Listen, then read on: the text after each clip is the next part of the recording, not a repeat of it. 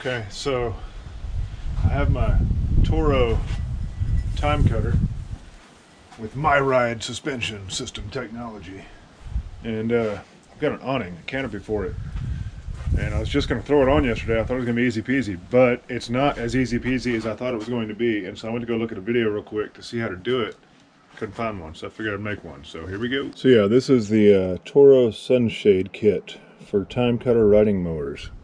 And uh, it does not have great directions or great pictures. So. Unimpressed with that. And this is what we're working with, minus the canopy. And uh, yeah, nothing's labeled. Just, I guess I'll wing it, figure it out. And the lighting is obviously going to be terrible because I don't have a workshop and uh, I'm in the shade and yeah, I don't know what to tell you. All right, I'm might be figuring it out. So the first thing I want you to do is take off the wheels. I mean, well, I want you to park it on a level surface and get it all right. And then jack up a lawnmower and lift up the wheels. It doesn't bother where I tell you to jack it up at, of course. So you just got to pick a spot. And then it's like, put it on jack stands. It's like, well, I don't have a jack stand, so.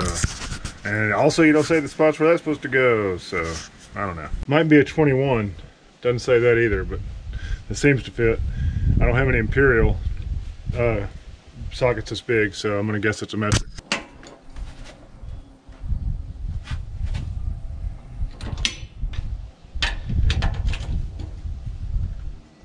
Oh, good. Excellent.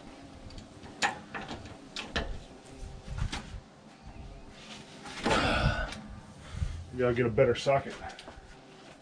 Maybe a better ratchet.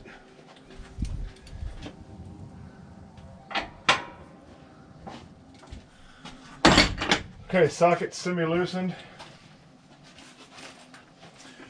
I don't know about a jack stand. I'm just going to use my floor jack and I think I'm just to leave it suspended.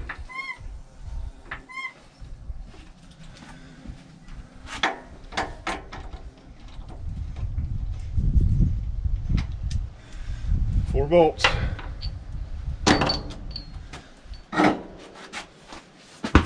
Tire off.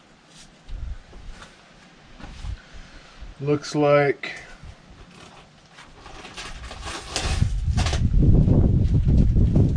should get some magnets for all these.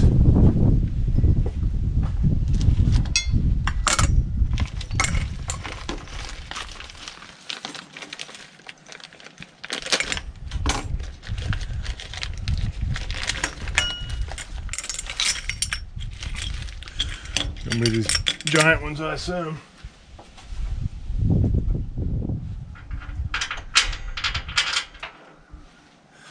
Oh yeah, is gonna be fun. Okay, bolts through the back. Two, looks like a lock washer. Three. I think three must be the piece.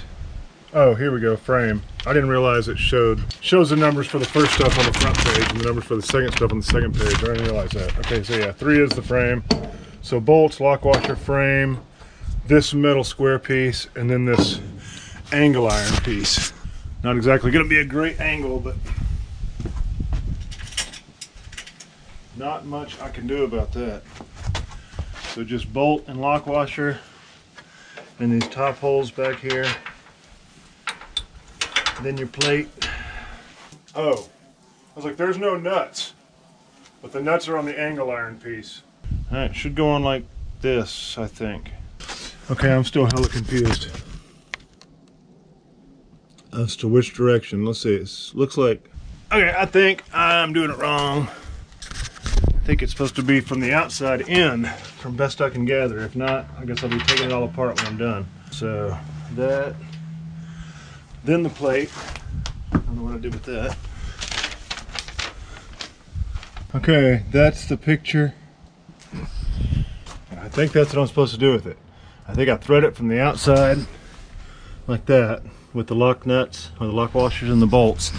And then the plate is in between here and the, the nuts are inside the the angle iron. It doesn't look like it's to clear.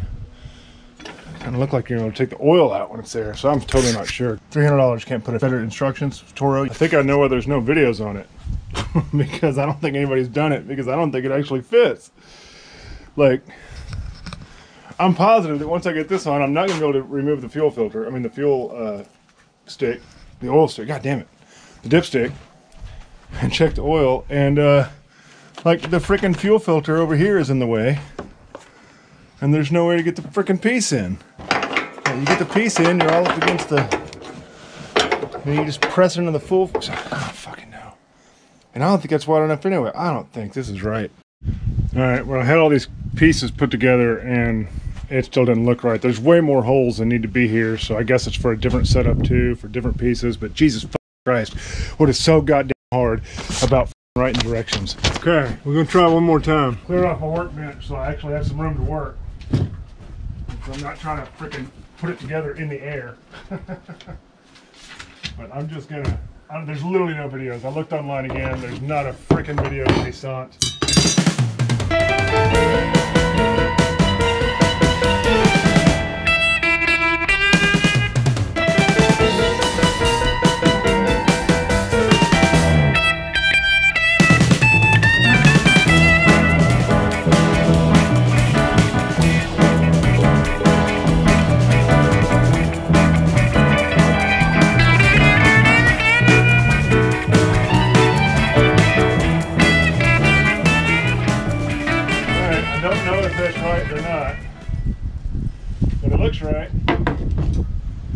Says to put wax on the bottom of the posts before I stick it in the things.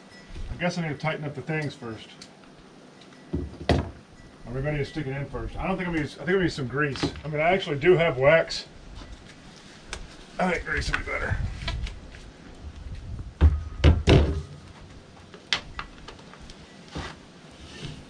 He's got an extra hole at the bottom, but there's nowhere to, there's nothing for it.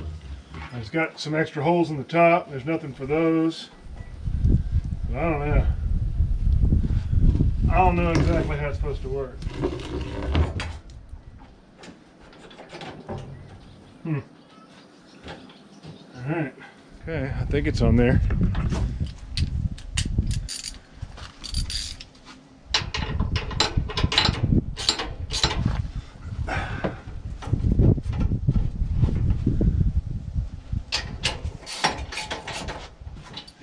Torque specs, so it does have torque specs on the uh, on the wheels. I'm supposed to put those back on. Probably will not pay attention to that. All right, tighten all these extra nuggets up here. Tighten all these nuggets up, put the wheels back on, I guess. You definitely ah. They definitely did not provide enough washers. I added washers to almost everything.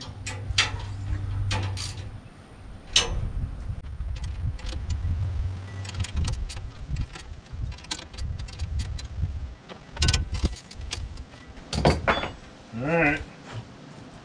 All right, that's that part. Put the wheels back on.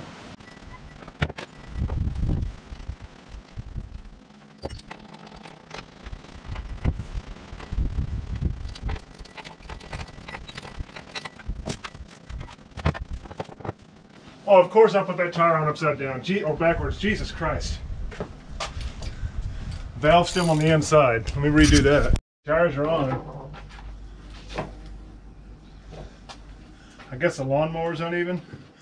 You know, it didn't occur to me how short this is going to be. I guess that's right. Got stuff getting off and on. Let's check this dipstick. You can get the dipstick out, but it's a it's annoying. And it puts a little bit of pressure. But you know, presumably, should just be able to take it out and, and in pretty easily with this grease. All right, let's look at these uh, awnings. See if we can figure out how to put those on.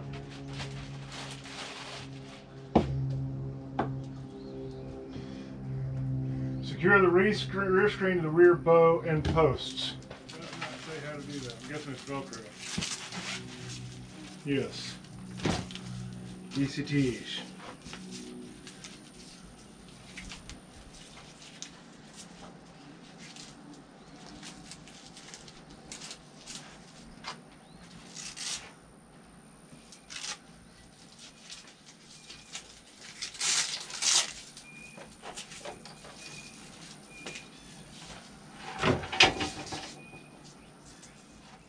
I guess that's right.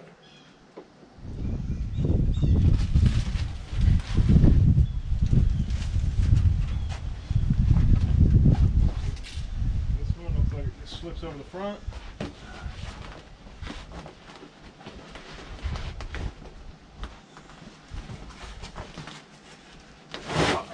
Yep, perfect. That worked perfectly.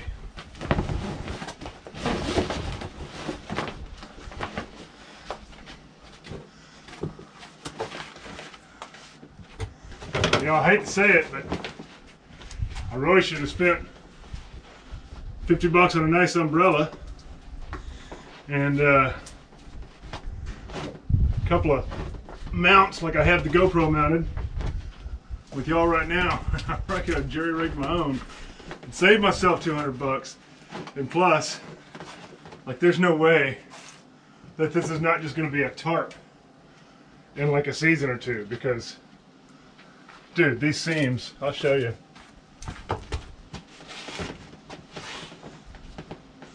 it's just it's just counting on compression. It's just counting on compression to hold it. It's just a pullover. And look at these seams. How long do you think those are going to last?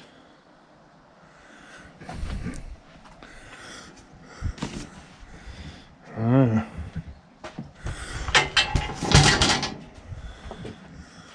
She's cute. And it would be nice not to have to wear a hat over my freaking headphones. But uh let's try her out I guess. Y'all are gonna move because you're on my ride suspension, so I can't do anything about that.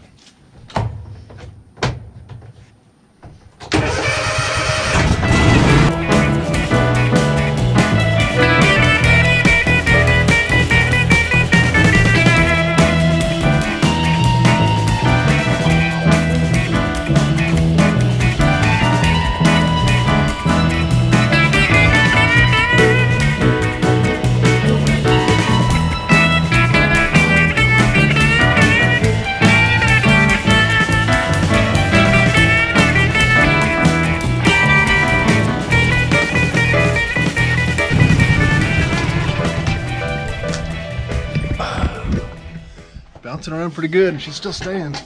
Uh, it's mainly going to be the getting off and the getting on that's annoying. But, uh, and I got to make sure I watch out for trees. I can't be getting near trees. Um, other than that, pretty good. And uh, aside from the crappy directions and the fact that I had to reconfiscate my, my work surface, other than that, went pretty smoothly. And uh, I'm happy to have it on there and I'm happy that it's an easy takeoff if I need to. So technically I need to check the oil and stuff. I can just pop it out of there, set it somewhere. And uh, yeah, but so that's the video. And uh, hopefully you got something out of it. Hopefully you saw it at all. All right. Thanks for watching. See you next time.